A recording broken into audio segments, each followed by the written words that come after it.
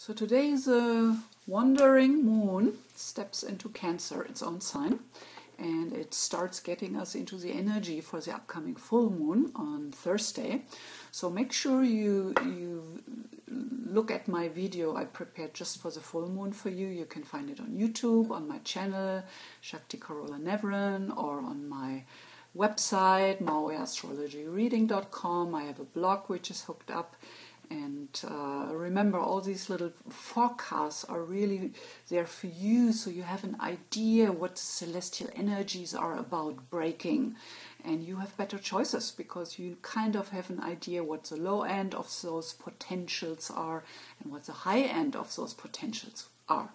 So I'm an evolutionary astrologer, and evolutionary astrology is all about that freedom of choice, that awareness to sharpen that and practice that astrological awareness.